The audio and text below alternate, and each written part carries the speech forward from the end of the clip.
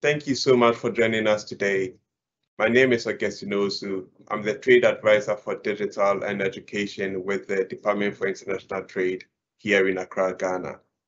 I will be your moderator for today's webinar. Today's webinar is focused on Ghana's digitalization agenda and the UK's private sector expertise. The government of Ghana has set out an ambitious digitalization agenda. The UK and Ghana has agreed to collaborate on six priority areas, including digital, at the UK-Ghana Business Council meeting, which is a very high-level meeting between both countries.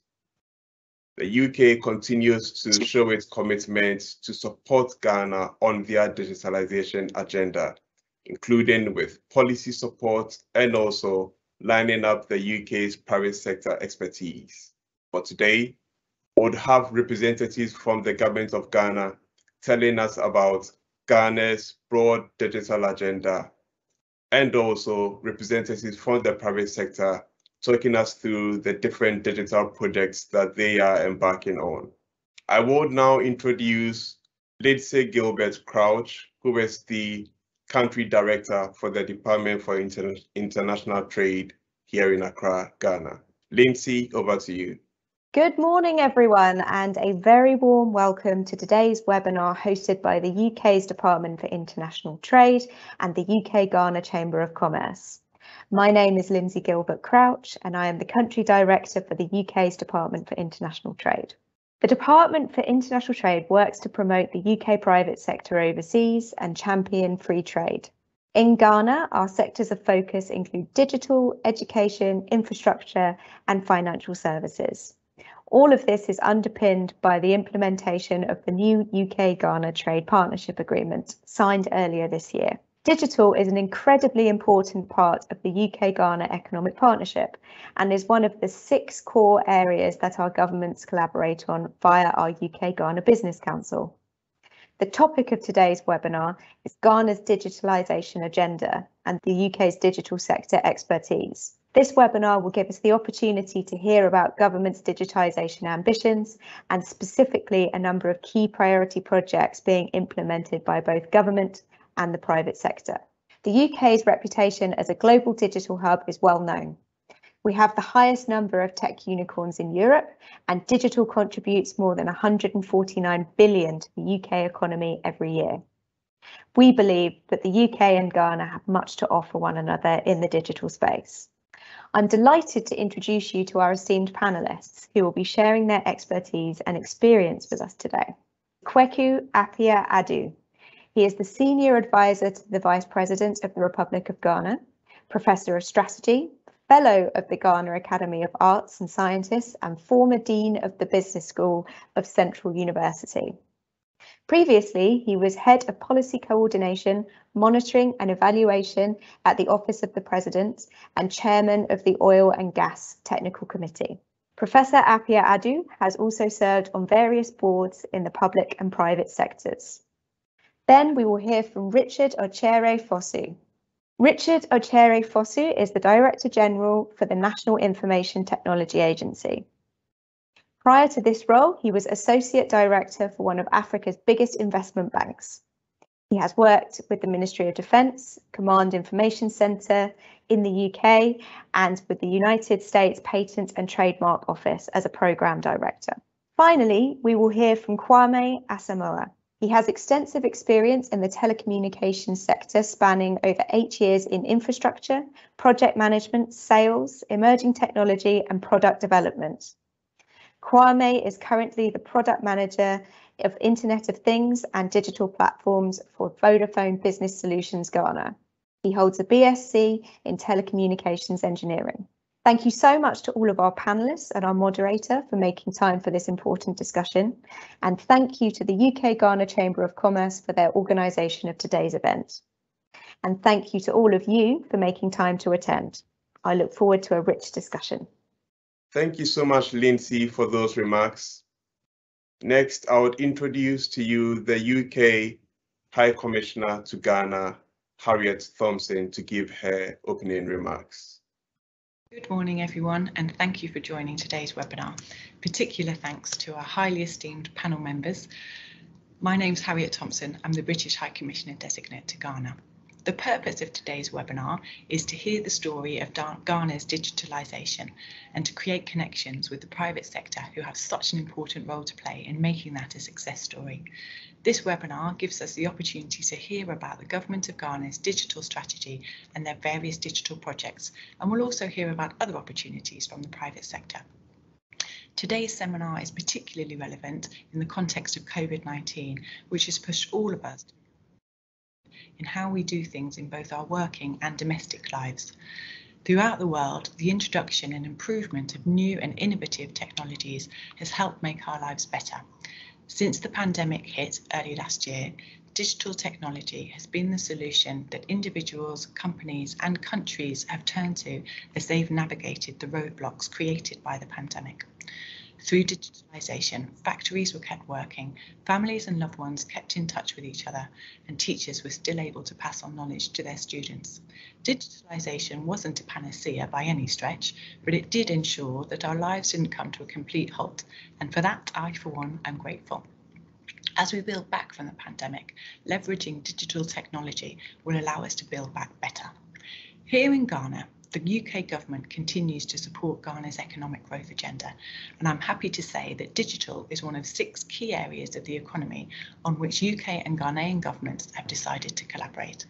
This was agreed at the UK Ghana Business Council, co-chaired by His Excellency the Vice President of Ghana and the UK's Minister for Africa, demonstrating that even at the highest levels, our two countries understand how important the digital sector is for economic growth.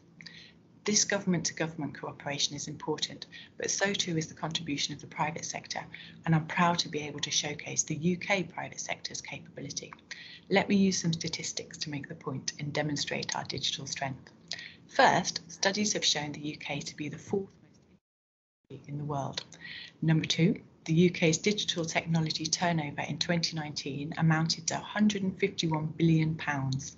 Number three, UK VC investment in tech is third in the world, hitting a record high of $15 billion in 2020, behind only the USA and China. And last one, the UK's tech startup and scale up ecosystem is valued at 585 billion pounds. But I'm sure I don't need to persuade today's audience of the value of digital. I hope you all find today's webinar useful and that it piques your interest in Ghana's digital sector. Thank you. Harriet, thank you so much for speaking to us. I would now introduce to you Her Majesty's Trade Commissioner for Africa, Emma Wade Smith. Emma?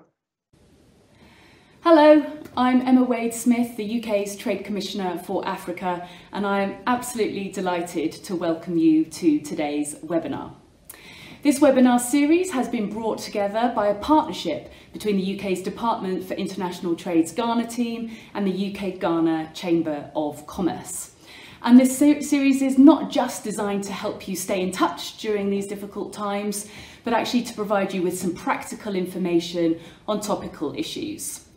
So this series is going to cover issues like business resilience, how to build back better, cleaner, greener, more resiliently, the opportunities that, that abound in Ghana on education, infrastructure, financial and professional services, how to maintain momentum on digital adoption, and indeed how engaging with diaspora can help you achieve your business objectives.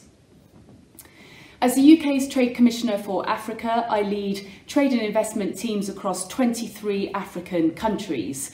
We look at providing trade continuity, uh, tackling market access barriers, and indeed promoting trade and investment opportunities.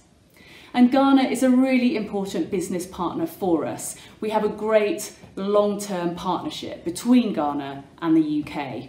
And I know that we can do even better. I know that times now are tougher than most of us have ever experienced in our lives. And as part of the UK government, we, the Department for International Trade, are here to work with you to help you achieve your business goals. And hopefully to inspire more UK companies to think about coming to do business in Ghana. We are here to help. So the purpose of this webinar, and indeed the whole webinar series, is to share strategies, best practice, insights, uh, and to provide a platform uh, for questions uh, for discussion and for sharing of knowledge. I do hope that you'll find today's webinar useful and please do get in touch with the Ghana Trade and Investment team to follow up. Thank you. Thank you so much, Emma, for those words. Just a quick reminder that today's webinar is brought to us by the UK Ghana Chamber of Commerce. You can follow them on social media. And you will see their details on your screen now. For those interested in becoming members, you should be able to reach out to Margaret, whose details is on the screen as well. I will now introduce to us our first speaker for today, Professor Kwaku Appiah-Adu. He will be speaking to us about the digital strategies for government of Ghana and the number of the projects that they are embarking on. Thank you, Augustine, for that introduction and also for the opportunity to be part of this program.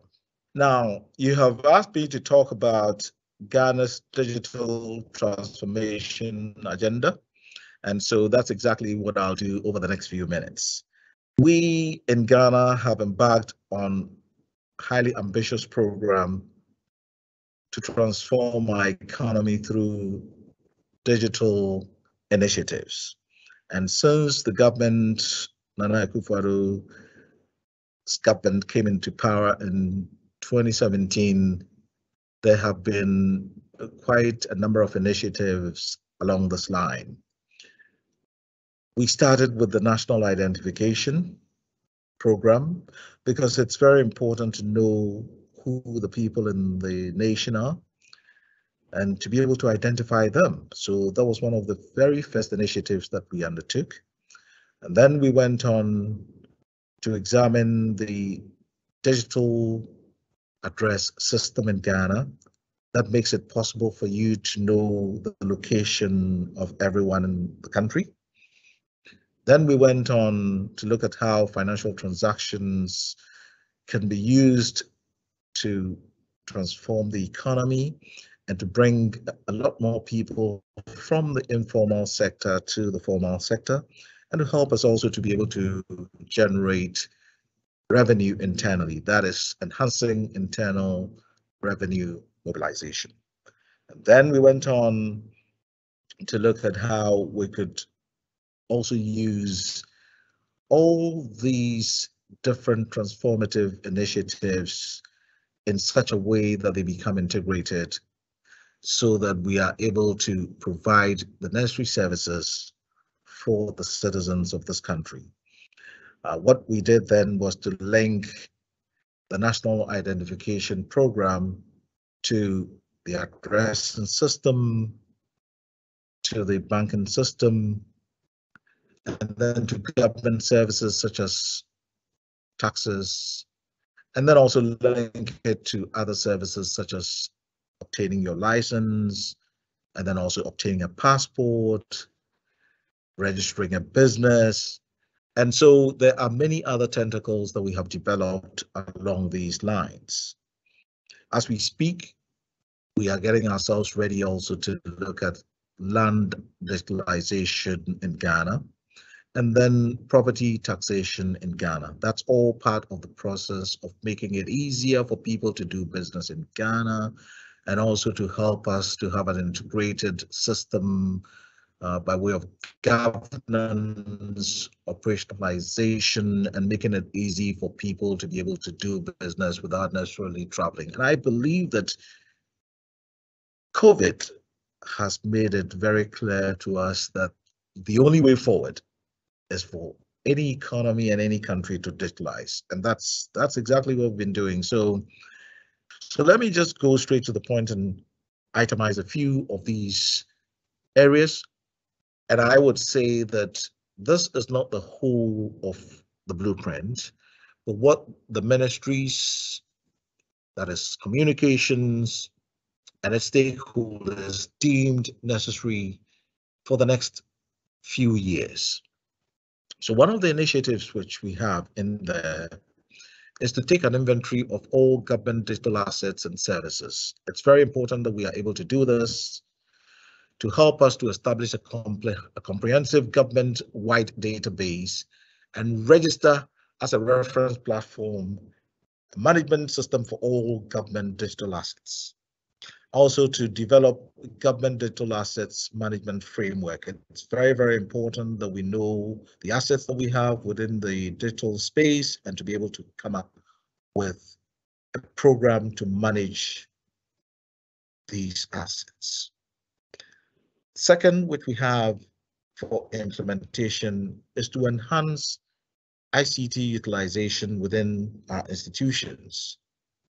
The capability of these institutions, as far as ICT is concerned, the competencies of the people who work in there, the skills and digital readiness of the people and the institutions. This would help us to prepare a digital readiness and skills gap analysis report, and then operationalize public sector learning management system and knowledge center system.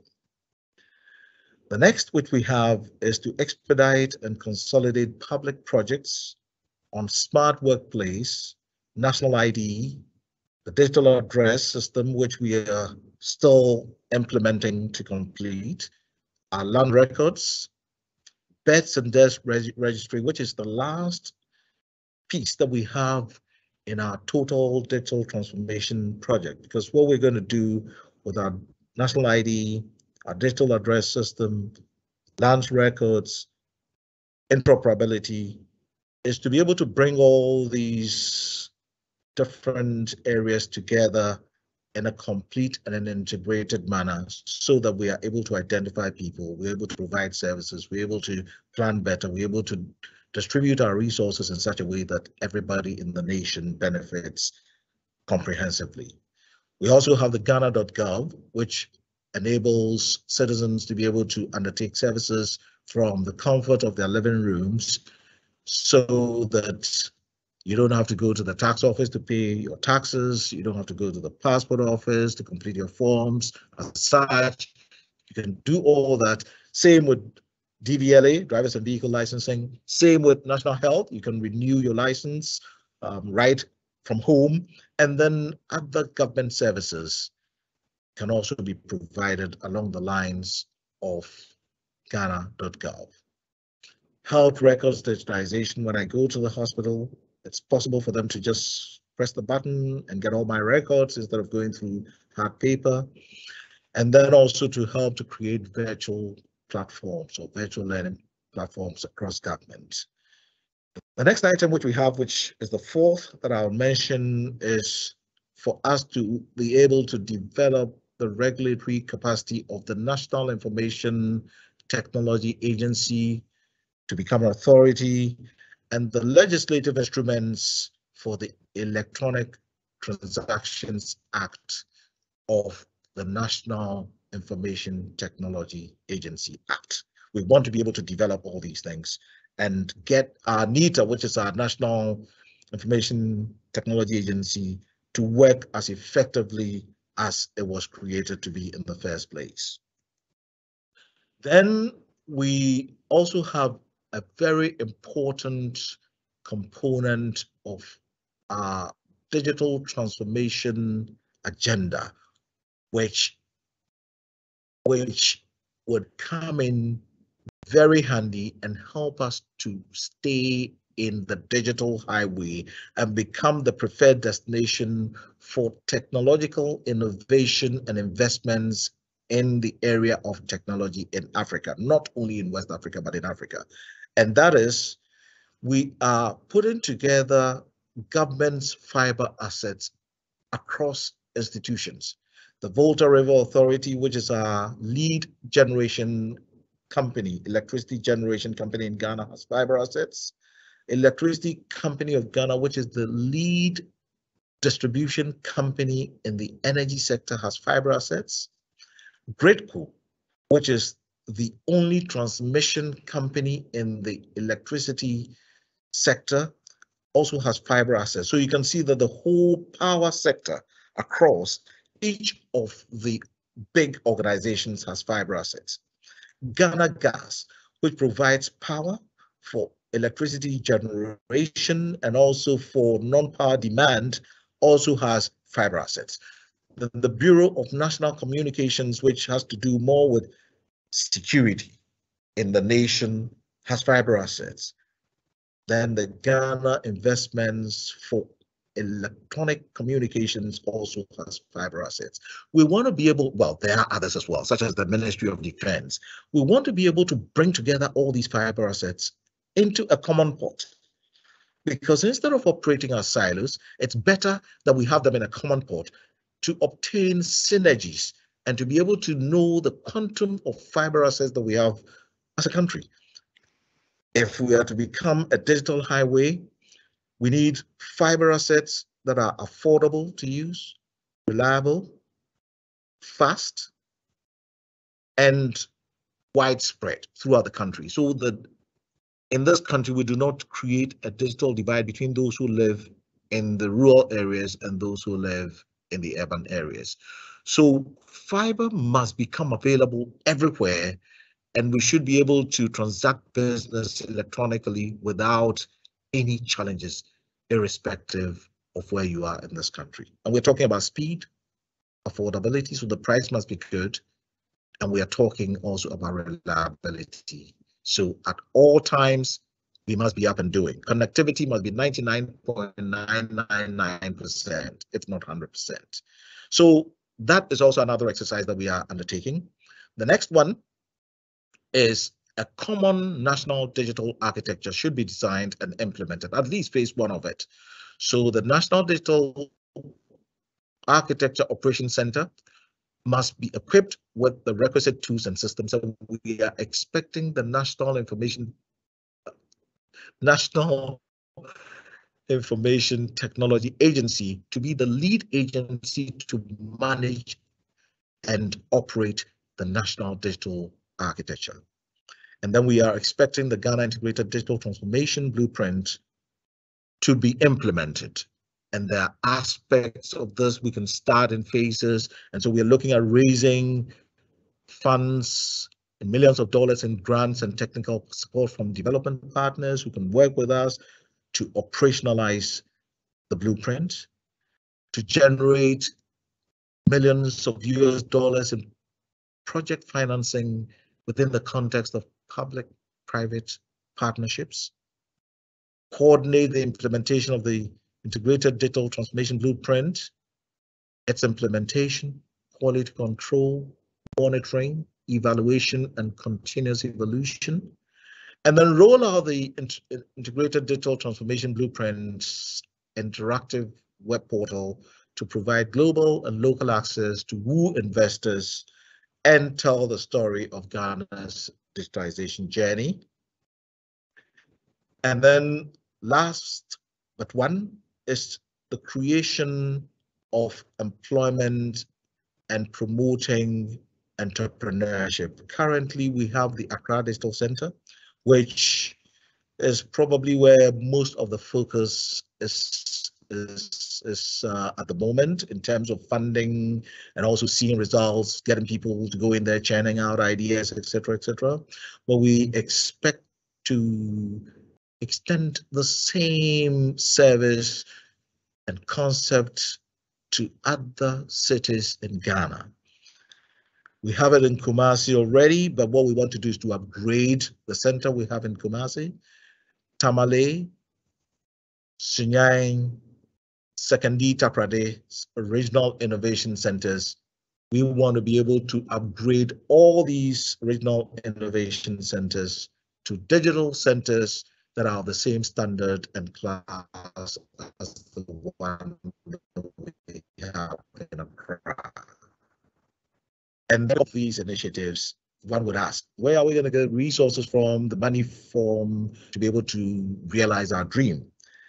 The Ministry of Finance has made a strong commitment to the Ministry of Communications and Digitalization that based on effective implementation of the blueprint, funding will always be made available because digital transformation was recognized by the president as the cornerstone for us to get out of the mess that most of economies in this world have gotten into due to COVID. So the Minister of Finance has, made a strong and an unwavering commitment to the Ministry and the Minister of Communications and Digitalization that anything that has to do with digital, digital transformation will be treated as priority in budget releases. And so we expect that to happen and to support the Ministry of Communications and Digitalization to deliver its commitments and targets under the Ghana Cares program a budget of 131 million Ghana cedis. You divide that by six, and probably you're looking at something a bit more than 20 million US dollars would be made available to the Ministry of Communications as long as it is recognized that implementation is on course, results are being achieved, returns are being submitted, and we're seeing a trajectory in the outcomes or the, if you like the outputs, the outcomes of the various programs under the Ghana Cares PIDNES, uh, as far as we see results coming through.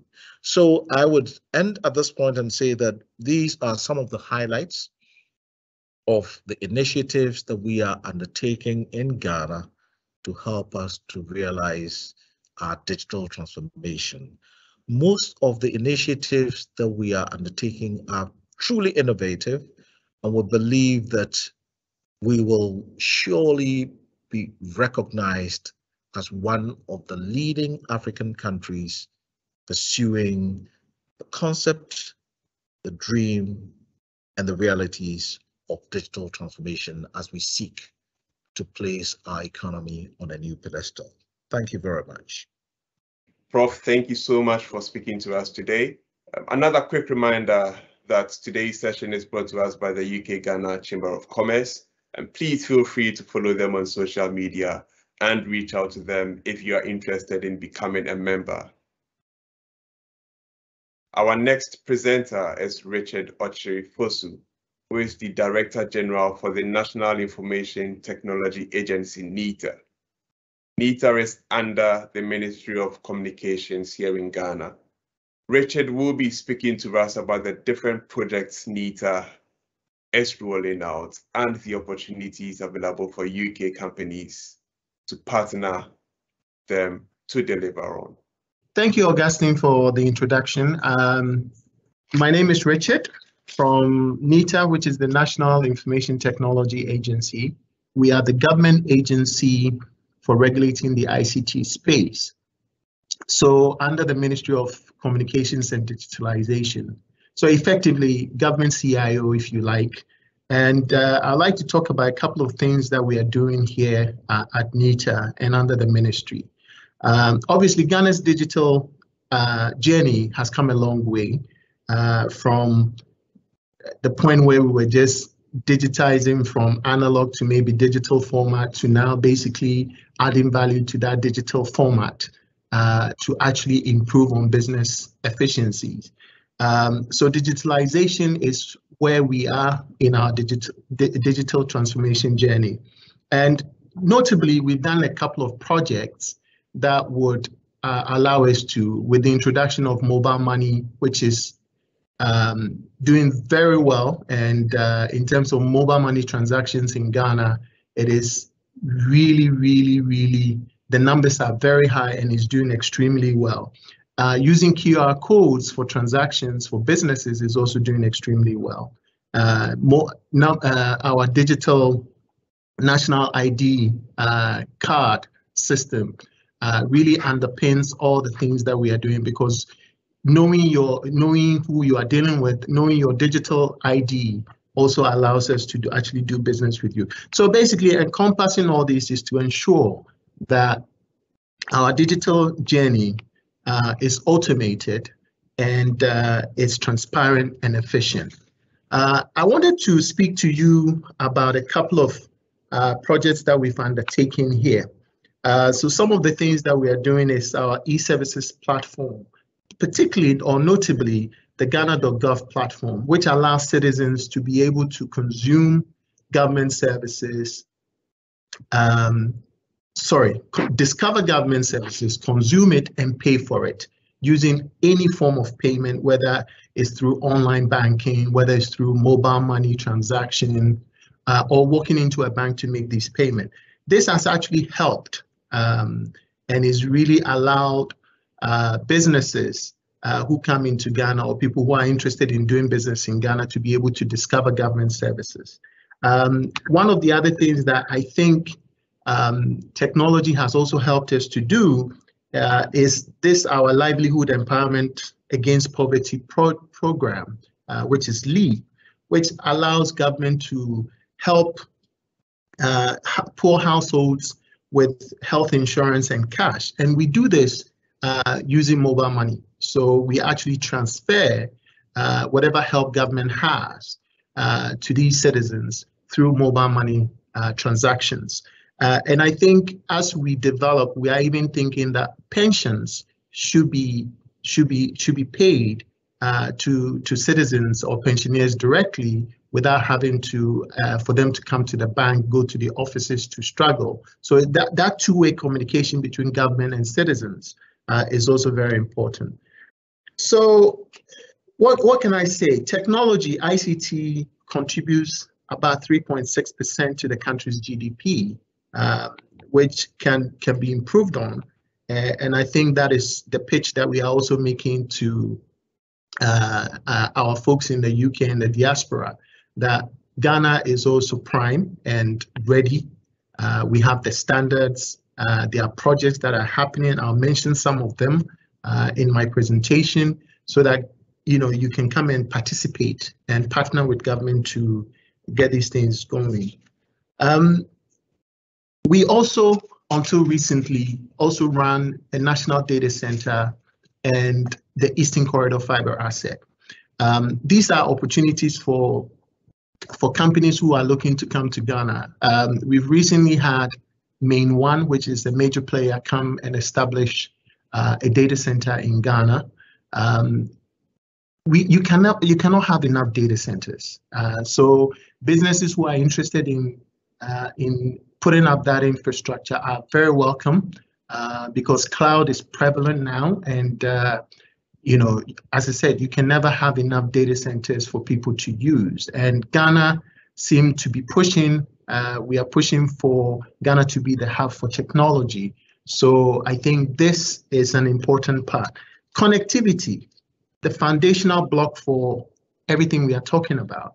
Uh, without the connectivity, um, all these E initiatives will not will not really bode well. Uh, so therefore, there are pockets in the country. Obviously, the mobile telephony companies have done their bit. Government is also doing their bit. Uh, uh, we also have a fund that actually looks at the rural telephony project.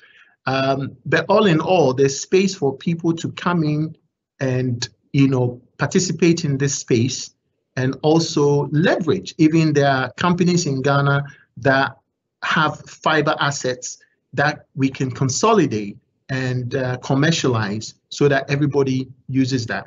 I mean, this is something British Telecom did in the UK, whereby nowadays uh, Richard Branson and his uh, and his Virgin Empire can boast of a Virgin Mobile uh, without erecting a single tower. So, so that that infrastructure is something that it's open, and we encourage um, private participants uh, to work with government to also do that. Um, we are we are very interested in sanitizing the ecosystem to ensure that we we give a, a an equal playing field for uh, private partners who want to come and play in the space uh, as I said, government is uh, is creating an enabling environment for private sector to survive and to thrive in this space. So our job is to regulate and make sure that standards are followed and everything is done as it should. Some of the projects that we've uh, undertaken um, looks at the digital skills and research innovation. This is a space that um, I, I, would I would ask and I'll put it out there that companies interested in um, in this area uh, can also look at. We have a very youthful um, call, uh, citizen. Um, we, we are a very young country uh, and technology is also very big here.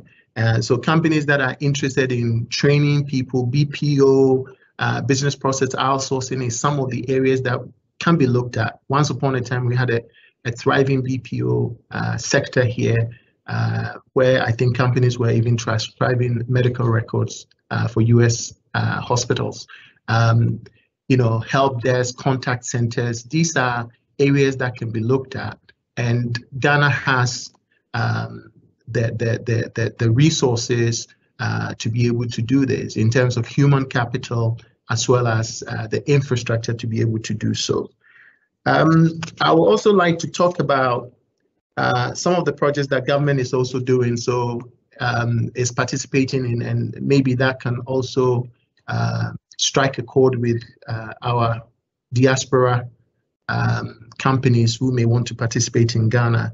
So we are building a government cloud, a G cloud, which would allow um, institutions in Ghana not to necessarily go to uh, the the Amazons of this world uh, and and the Microsofts, the Azures of this world, but basically to try and also have a cloud in country where we can minimize data cost as well as data sovereignty issues uh, through data protection and all those things. So government cloud is also something big that we are looking at. I mentioned Ghana.gov. It's a fantastic platform that is really helping government cut out corruption and middlemen because everything is done directly with government institutions. Payments are known and government at any point in time can see um, its money because it's swept into the consolidated account. We also have a project on public key infrastructure. This is a very um, important uh, infrastructure uh, when it comes to uh, authentication of, of, of our cyberspace. Uh, so we are working with uh, our passport services and national ID uh, who all leverage this key infrastructure to do what they need to do. We are also currently working on a project that consolidates uh, traffic management. Uh, we have different actors in the space, uh, but right now we are trying to create a consolidated traffic management system where we can we can bring some sanity on our on our roads. Uh, red light violations and ticketing would be prevalent uh, because nowadays, if you are fined, you are you are given an opportunity to use the court system to basically put your case forward. But if not, you pay for the fine and we bring some sanity. Um, we are collaborating with the passport office and national ID uh, to actually activate uh, a passport module on our on our national ID card, uh, first for ECOWAS traveling and then uh, for global traveling as well. With with COVID, um, we also uh, introduced a platform called Smart Workplace, which I'm currently using uh, the Teams component of it, which allows all MDAs and MMDAs to be able to work from home. This is government's virtual workspace. Uh, they can work anywhere, anytime, any place. Uh, and this is also another initiative that government has actually put out. Um, in all this, all the technology that we are doing, all the digitization effort is also underpinned by our enterprise architecture.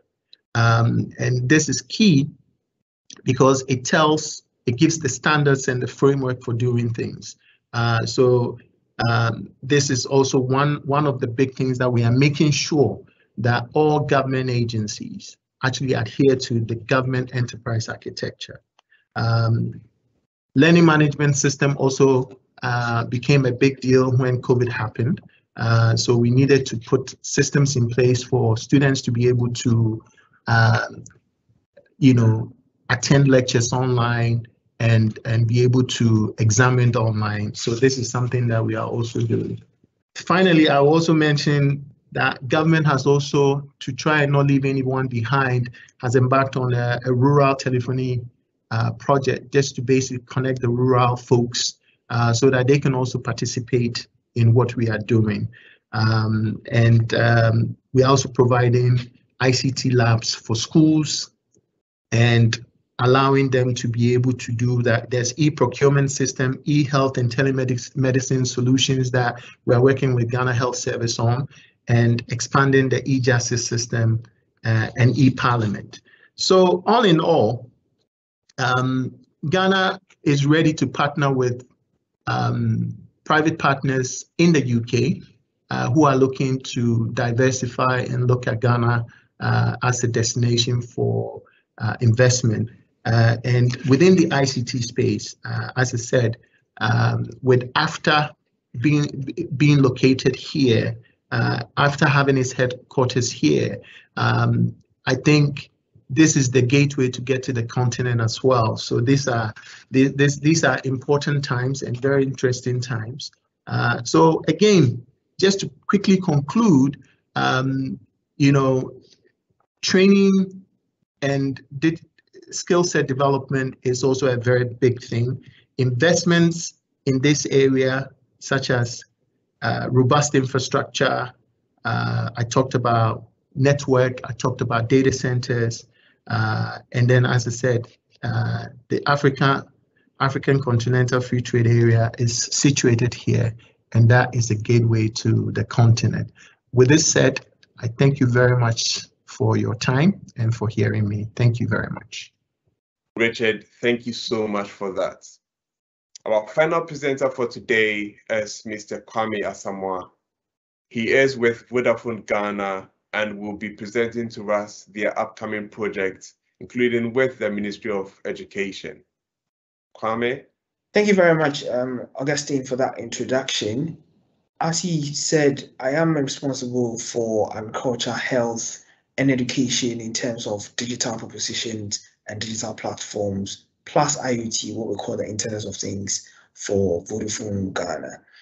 And so as a company, we've been able to understand the framework of how we should behave in developing countries like Ghana and other places where we exist, like Kenya, Tanzania, etc., and how to deploy digital propositions that helps to drive governments and economies in where we operate. And this is in the sense that these three key channels of every economy is what drives it. The children will have to eat, and that's why agriculture comes in. They would have to go to school, education plays in there. And there was always the need for health, especially in these times that are not normal times. And this applies across every social structure and formation in every country that you can think of. So now we can move on to the prepared slides so that you have an understanding of what we have been able to do and developed as a company.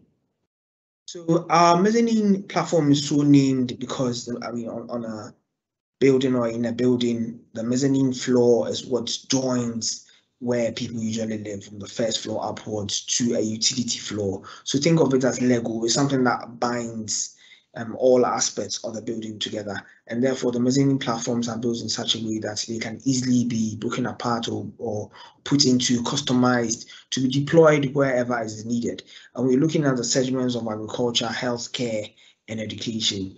And so the Vodafone Group has spent some time, some energy, and some finances to develop digital platforms that can tackle these three key areas of any developing nation, agric, healthcare and education. And it's also riding on the fact that mobility is now the norm where you have people even in the rural areas having multiple phones, one or two, and having access to the mobile network and mobile technology, be it on the YAM phone, which is the feature phones, as we call them here, or the smartphone.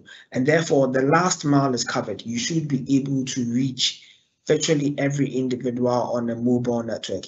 And this is where we make it more beautiful as Vodafone, where we've been able to deploy an agnostic platform. So regardless of the network that you're on, whether if it's a competitor, MTN or Airtel, you still you should still be able to use any of these platforms on the mezzanine suite.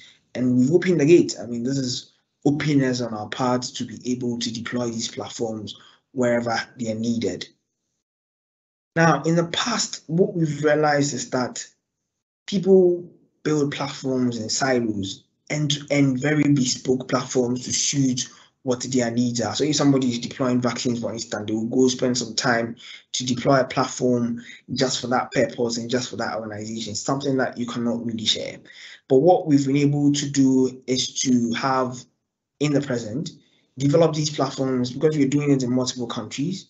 is a shared service. So you should be able to deploy whatever lessons and positive actions that we've had in another country and use it in Ghana, for instance, if it is required. So even Kenya, they developed something quite sensible in the field of agriculture, for instance, and would require it in the cocoa segment in Ghana. That is something I can, I should be able to take and deploy in the Ghanaian environment. And that's what we're thinking about, sharing that information, making it open and spreading knowledge across um, the continent through the mezzanine platform.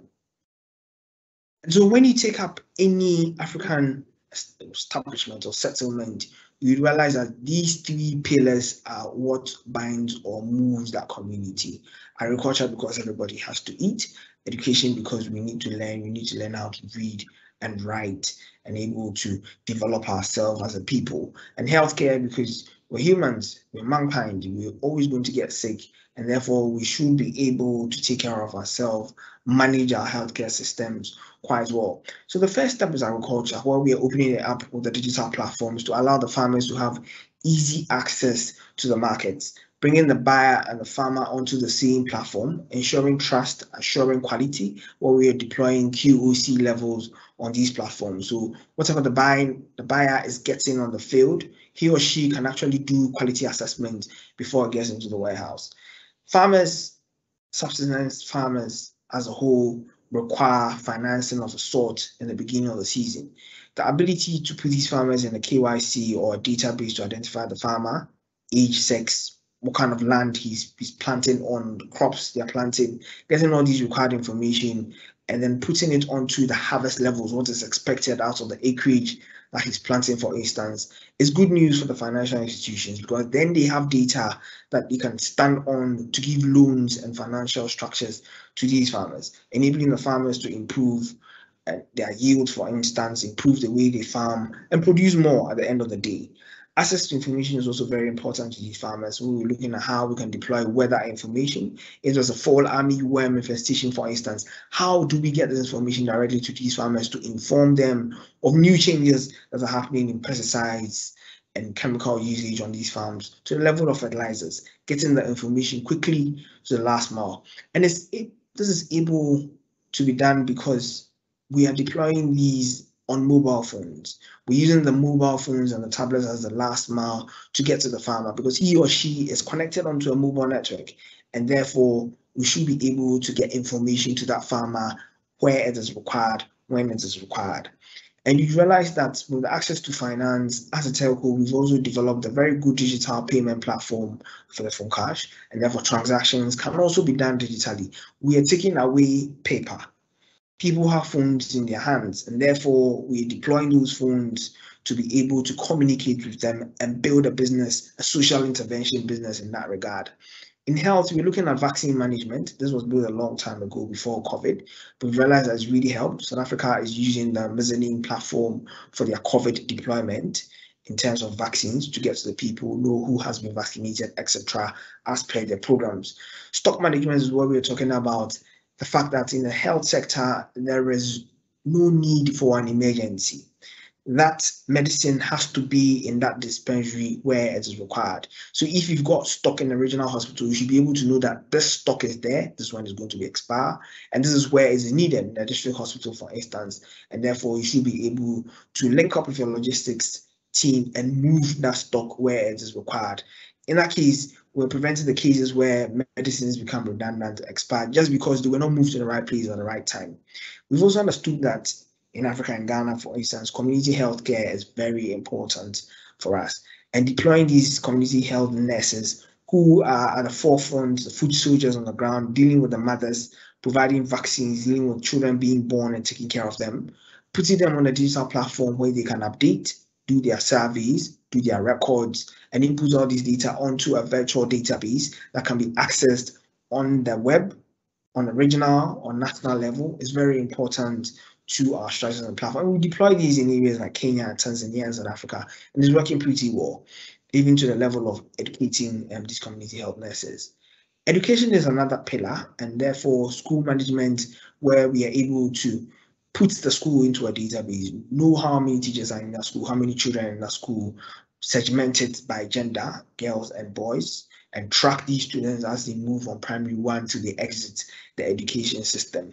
These are platforms, and in cases like Kaduna, where we deployed them, it's able to let them remove the problem of ghost names and a bigger problem of ghost schools with ghost teachers, etc., and therefore saving the government a lot of money because the money is no more going into the drain. You know exactly what is there, where where it is, and, and the capacity that you have as a school, and therefore the funds are managed properly. And this is just because, again, basing the digital platform on a mobile service.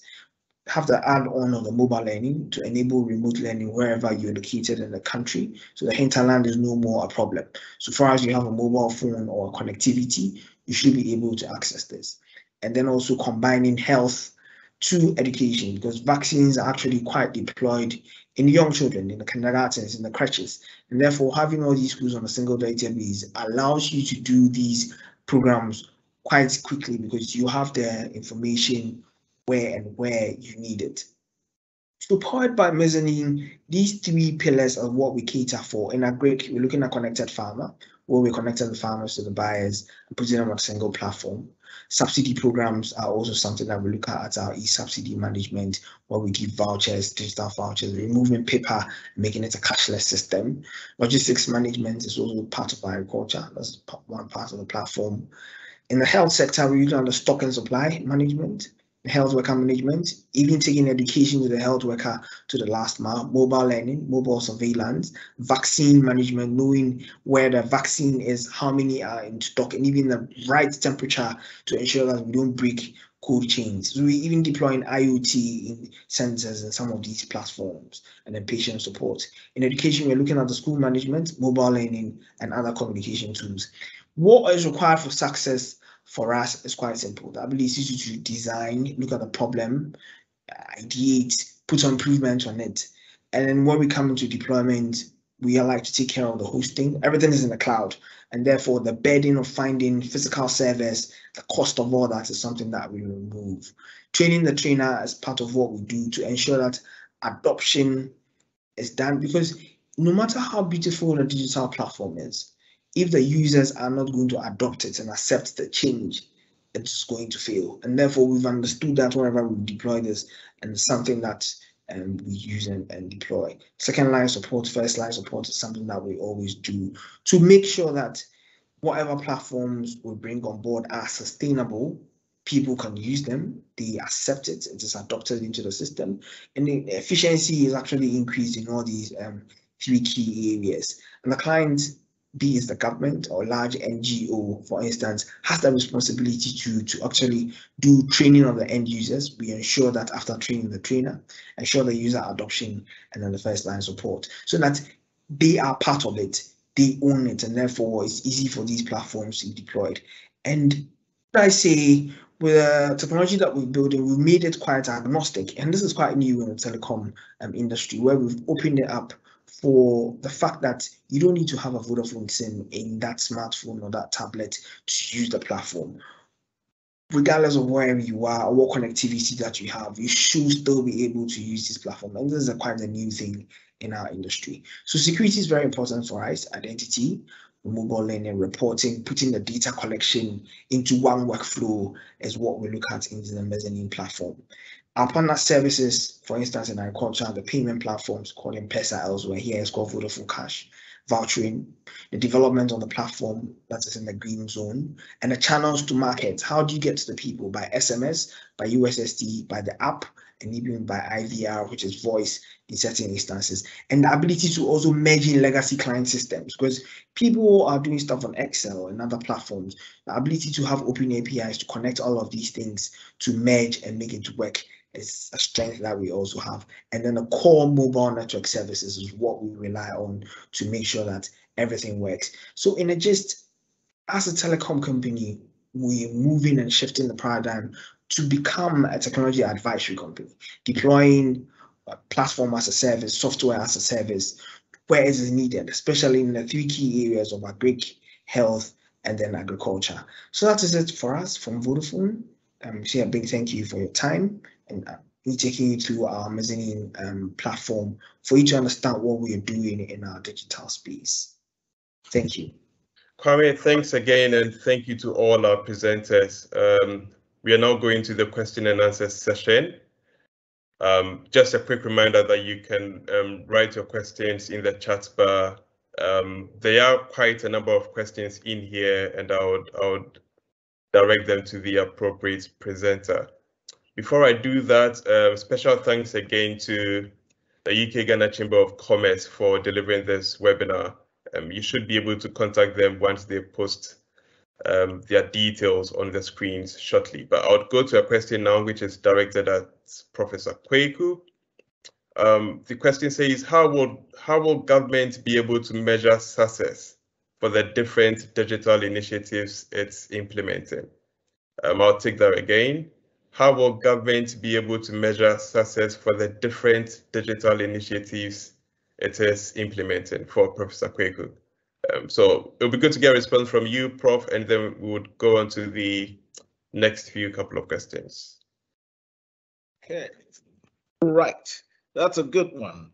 So what we have done is that we have a performance management framework, which has been developed under the Ghana Cares program. Now, if you would recall, all the initiatives that we have within the context of the Ghana Integrated Digital Transformation Blueprint are being funded by the Ministry of Finance and money or resources will be provided for them.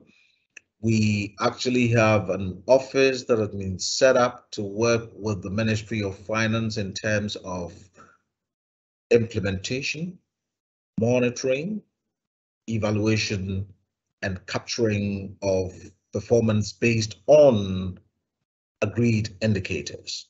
That's exactly what we'll be doing. And when we go back to the Ministry of Finance at the end of every quarter to ask for a top up, or, well, I wouldn't even call it a top up, replenishment, because we have undertaken our activities for the previous quarter the performance management framework, which is a very serious document which has been developed, would serve as the basis for replenishment. So we do have a framework in place. We will be doing the monitoring and evaluation very closely, and we will be able to report on performance. Thank you. Okay, thank you so much, Prof, for that um, answer. Thank you so much, Prof. Um, I will now ask Richard a question, um, Richard Fosu from NITA. Um, the question here says, how can UK companies who are experts in digital technology compete for opportunities in Ghana? Um, Richard, I'll take that question again. How can UK companies who are experts in digital technology compete for opportunities in Ghana? Um, Kwame, the next question is to you, but we would get a response from Richard first. Richard. So, so thank you, Augustine, and, and thank you for your your your your viewers. Um, I, I mean, throughout the presentation that that I gave, and I think Prof Prof gave, uh, we've we've sounded the, the the call that Ghana is ready uh, to work with, um, you know, private partners, whether in country, whether outside. We are ready. Um, the, the government has created this enabling environment, uh, and we've we've also teased out some of these opportunities that uh, that that are available. So therefore, um, you know, any any any company in the UK that's willing to work in in this area uh, should should get in touch. Um, we've also made doing business in Ghana uh, quite straightforward now as well. So um, I, I think I think Ghana is ready, and uh, the, if it's technology, they can also reach out to us, and uh, we'll be willing to assist them. Yeah. All right. Thank you, thank you, Richard, for that um, answer. Um, I'll now go to Kwame's question. Um, Kwame, the question here says: Is there scope for UK companies to show to support with the implementation of your project? Um, is there scope for UK companies to support with the implementation of your project and um, how can they do this? Kwame? As I initially stated, I mean, it's built on a think of it as a Lego platform where we can pick and choose who to work with depending on the need and the requirement. So if there's a UK co um, company, for instance, in the area of mobile payment and they would want to integrate to make sure that we do that, and um, we're happy to do that. NGOs, Oxfam, etc., who are UK based, that we could help with our platforms in the dissemination of information wherever they would want to use this, be it in the refugee camps. We don't have any yet, but if they are doing poverty eradication programs or on the hunger project, for instance, these are people that we can always. So we are, we are open. If anyone has an API that is suitable and thinks that it can be overlaid on our platform as a last mile, our doors are always open. Ahmed, thank you so much for that answer. Uh, there's another question here, I think that's directed to you, Prof. Um, it says, to what extent will um, government of Ghana's digitalization agenda be economically feasible? To what extent will this be economically feasible? So I think essentially they, the the participant wants to know what are the economic gains, you know, from from government and digitalization strategy. Prof? Thank you. I think there are various figures that we have started noticing. If you take Ghana.gov, for example, we've been able to do business worth about 20 billion Ghana cedis over the last, let's say, nine months or so. Richard would have the exact figures, but if you take the fact that government is doing business uh, there is a lot of money that is passing through the formal system. Companies and individuals are paying their taxes. We are able to collect taxes and duties at the ports. We are able to provide services for people who need uh, licenses, passports. Very soon it's going to be land registration, registering businesses. And the fact that based on the agenda that we have, we've actually gone through the process of ensuring that legislation has been put in place to increase some of the fees that we charge. When I say we charge, government charges for the services we render. If you need a passport, like yesterday, as we would say, you can pay a premium and we will give you a 24 hour service or an express service. The same applies to vehicle licensing. The same applies to registering a business. So we, we have been able to introduce differentiation in terms of pricing for services that are offered to the citizens. Just by doing, doing this, we are able to rake in a lot more in terms of revenue compared to the past. In the past, somebody would go to the tax office, wanting to pay their taxes between 12.30 and 2 o'clock, and they will be told that it is break time. Therefore, the of officials are not available to collect your money. That's physical transaction. Now, it's possible for me to sit in my office, possible for me to sit at home and pay my taxes. All these initiatives would mean enhanced revenue for government. So if you're looking at, as they call it, economic viability, or business feasibility for government in embarking on digitalization, I think very clear, it's very clear that we will be able to break even following investments that we make. Once we make the investments at the right levels, in the right direction, there is no doubt at all that the citizens are going to benefit in terms of service provision and government is going to benefit in terms of revenue mobilization. That's what I have to say. Now, the other one that I'll end with is that if you look at productivity, that's also another angle where we stand to benefit tremendously by way of productivity in terms of what we do as a people and as a government. Thank you. Over. All right. Um, Prof, thank you so much for your response. Um, thanks again, Prof. Um, Richard, I was wondering if you had something brief to add to this. Um, any any comments from you on, on this specific question, Richard? Thank you, Augustine. So I think Prof. Prof had looked at the the benefit to government in terms of revenues to government, uh, and he touched his last statement was on productivity. Uh, so again, government also I mentioned it in my presentation. Government during the lockdown and the COVID uh, instituted a program, a virtual uh, workspace uh, for government institutions to work from home. So trust me, during the lockdown government institutions were working. Again, that that that showed the level of productivity that we garnered during that time. So that's what I would like to add to it. Uh, and um, I mean, one thing is very clear: once you digitize and once you change mindset and people are doing what they are following the rules, uh, you know, we, we, the, the benefits are very clear. Thank you. All right, um, Richard, thank you so much for for your comments as well. Um, so we are just about to wrap up, um, a quick reminder that you can pop in your questions. Uh, we've got just a few minutes left, but I can take one or two more questions.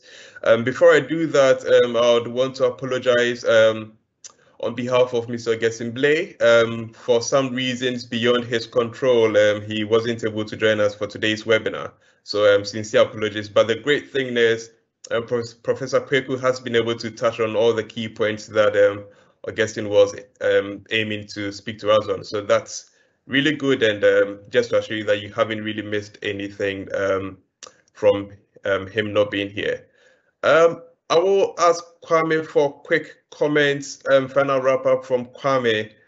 before I go to you, Kwame, another reminder that you can send us your questions um, if you have any in inquiries for the Department for International Trade, you can send us an email to dit.africa at fco.gov.uk. I'll take that email address again, dit.africa at fco.gov.uk. We'll take final comments from um, Kwame, um, and then we'll be aiming to wrap up. Kwame. All right, thank you very much, Augustine. So um, the final words from me will be that um, from the private sector, and, and this is um, from the Vodafone angle of things, we've seen that we have to, as a must, we can't be spectators. We need to support government initiatives and how to improve ourselves, and digital is the way. And since we have the last mile of mobile connectivity, we can get anywhere, everywhere we need to be.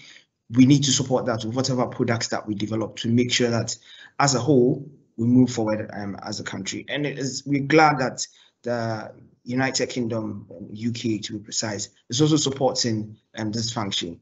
So we are ready to push. It's going to be private and public partnerships. We're ready to help and make this happen.